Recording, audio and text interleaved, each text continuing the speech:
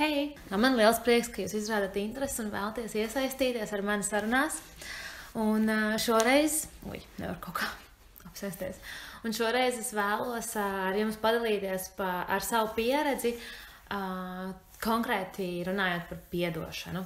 Um, manuprāt, vispār piedošana ir ļoti, ļoti svarīgs punkts ikviena cilvēka dzīvē, kurš cenšas attīstīt sevi uz priekšu, kurš cenšas nevis stāvēt uz vietas, bet tieši augt. Tas ir liekas, tas, par ko es runāju ļoti daudz jau ar jums. Nevis sēdēt uz vietas un, un, un vienkārši palikt tajā vienā punktā, bet kustēties tālāk. Un, uh, man kādu brīdi ir bijis tā, ka es ļoti, ļoti spītējos un nespēju piedot kaut kādas lietas citiem cilvēkiem. Līdz ar to uh, tās dusmas un emocijas, negatīvās emocijas, kuras ir saistītas ar konkrētu cilvēku, um, viņas kā nekad neatvienojās. Viņas ir, tu esi savienots ar to domu, ar to cilvēku, tu visu laiku par to cilvēku domā, kā viņš tā varēja. Kā, nu, vai arī tu par sevi konkrēti domā, kā es tā varēju, kā es varēju nu, darīt citādāk. Un, um, es uzgāju, man nav vairs tā grāmatiņa, bet es atradu vienu lielisku grāmatu, kas saucās Piedošana. Piedošanas spēks vai kaut kāda tāda zila, smuka grāmatiņa. Un, um, man viņa, es viņu izlasīju divreiz. Man bija ļoti, ļoti grūti piedot uh, sev tuvam cilvēkam. Uh, par to, kā viņš ir rīkojies kaut kādās situācijās dzīvē, kas ir skārušas arī mani. Man bija ļoti grūti piedot uh, daudz dažādiem cilvēkiem, kuriem vienkārši, kur es biju iesaistīta kā. Nu, jā. mēs, mēs katrs esam kādreiz tādā situācijā, kad mēs ļoti paļaujamies uz kādu, un tad beigās tas cilvēks mūs pieviļ, jo viņš izdomāja darīt pa savam. Uh, Un mēs jūtamies dusmīgi par to, un mēs nespējam piedot tam cilvēkam, un mēs par viņu visu laiku domājam. Bet um, vienkārši es jau esmu arī par to runājusi ar jums, uh, to, ka ne, mēs visu nevaram pārņemt savās rokās. Mēs nevaram kontrolēt visu to, ko dara kāds cits. Un, jā, var, tu vari nepiedot vairākus gadus cilvēkam. Tas var būt noticis kaut kad ļoti, ļoti sen. Un, un tas vienkārši tev ir tā nosēdināts lejā, ka tu vairs neatceries to, ka tu kādam neesi piedevis, eh, vai arī to, kaut, kāpēc tu jūties tā pret to cilvēku. Bet jo ātrāk tu spēj piedot kādam, tas nozīmē, ka tu spēj piedot arī pats sev. Un tas ir pats svarīgākais tieši piedot sev par to, ka, nu, jā, tu mēdz kļūdīties, mēs visi mēdzam kļūdīties, un tikai no kļūdām mēs varam mācīties. Un līdz ko tu kādam piedod, tu atbrīvo sevi no tās sajūtas, no tās, no saspringuma, no tās nelaimīguma sajūtas, no tās negatīvās enerģijas, no negatīvām sajūtām.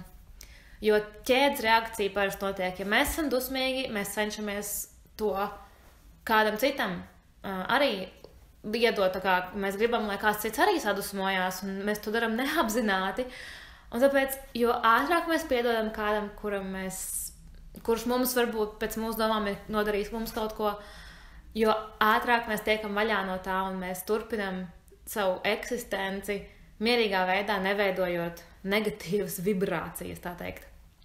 Tāpēc piedodiet, piedodiet jebko vienkārši. jebko, jebkas, kas notiek, vienkārši centieties tam piedot un, un mēģiniet saprast, ko jūs no tā iemācāties. Jo es esmu pati personīgi ļoti daudz ko iemācījusies, cenšoties piedot. Un nevis tikai pateikt, piedod, lūdzu, piedod man, ka es tā jā, darīju, vai es ņēmu vērā to, ko, kā tu rīkojies, vai jebkas. Bet galvenais ir arī tiešām to kā, nu, sajust, to, ka tu tiešām piedod. Nevis tikai pateikt to vārdiem, jo pateikt mēs varam daudz ko, bet tad, kad mēs tiešām to tā jūtam, ka mēs iedziļināmies tajā, kāpēc mēs piedodam, un tad tas tiešām arī strādā. Tā kā, jā, nevis vienkārši darīt kaut ko tāpat vien, bet tiešām arī kā, atrast nozīmi tam un pieslēgties tam ar visu savu uzmanību, nevis tikai tā virspusēji. jā, es ļoti priecāšos, protams, arī, ja jūs gribēsiet, jūs varat rakstīt man kaut kādas savas pieredzes, jo es saņemu no jums pieredzes, un es tiešām ļoti novērtēju tos pieredzes stāstus, kurus jūs man sūtat, gribat dalīties. Un es nezinu, kā es varbūt palīdzēju ar savu stāstu mazo, bet um, jā, padomājiet varbūt par to, kā mēs dažreiz rīkojamies ikdienā, vai kā mēs cenšamies ar savu ego parādīt kādam to, kad, kad mums tur viss ir tik šausmīgi svarīgi. Bet ļaujiet vienkārši būt.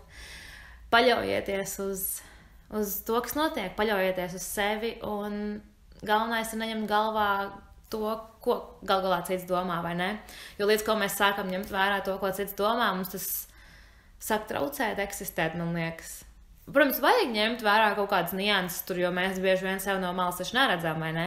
Bet tā kā, ja mēs ņemam vērā kaut kādus nosodījumus no citiem, un tas mums liek justies slikti, tad varbūt ar to ir jāpastrādā. Bet, jā. Es atradīšu to grāmatiņu kaut kad, man viņa, man liekas, ir pie maniem vecākiem mājās, viņu uzdāvināja mammai vienreiz. Uh, Un, uh, ja es viņu atradīšu, es uh, padalīšos kādreiz šeit ar to grāmatiņu vai kaut kur savos sociālajos tīklos. Um, man arī ir Instagram, manā self-care elpo un sapņo. Instagram kontā ir viena meditācija, kas ir par piedošanu. Ja nu jums interesē, jūs varat atrast to tur.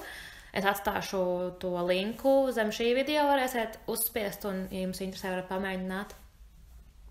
Jā, tā kā centies piedot pats sev, un tad jau viss pārējais tālāk sakos pats no sevis. Ok, tas tāds īsais video no manis šoreiz. Lai jums forša diena! Namaste, draugi! Peace!